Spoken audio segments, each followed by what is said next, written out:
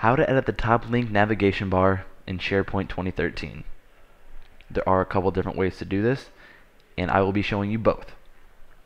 So you'll notice from my SharePoint 2013 MT demo site, I have a link for SharePoint 2013 MT demo. I have main site, SharePoint free trial, free SharePoint trial, SharePoint 2013 blogs, and IT. I want to clean this up a little bit.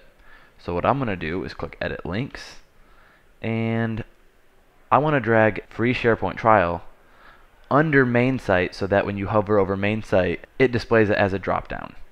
So you're going to click your link and drag it under main site where it says drop link here, release. But I also want to do that with SharePoint 2013 blogs. So I'm going to do the same procedure.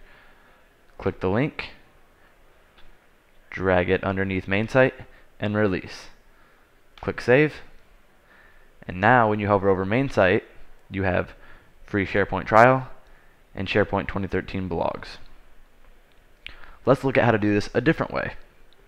To the right of your name, click the Site Settings gear, click Site Settings, under Look and Feel, click Navigation. It's important to note, navigation is a feature that is available but you first must activate the SharePoint Server Publishing Infrastructure feature in the Site Collection features. Let's go back to Site Settings, Navigation. Now you'll see our global navigation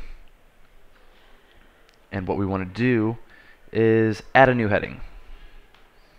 So I'm going to create a heading called subsites. I'm going to leave the URL blank, description blank, and audience blank. I'm going to click OK. So I just created a new heading. But now I want to put IT under subsites.